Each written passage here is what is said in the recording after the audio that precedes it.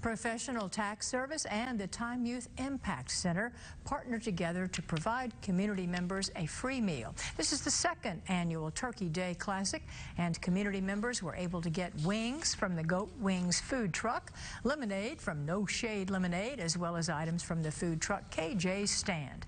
Professional Tax Service and the Time Youth Center also gave away some turkeys to families in the community.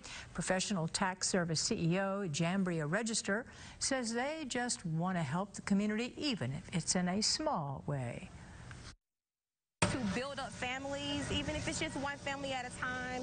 So we start in the communities and we, we're starting in our neighborhoods. Professional Tax Service wants to thank the community for its support of this event and wishes everyone a happy Thanksgiving.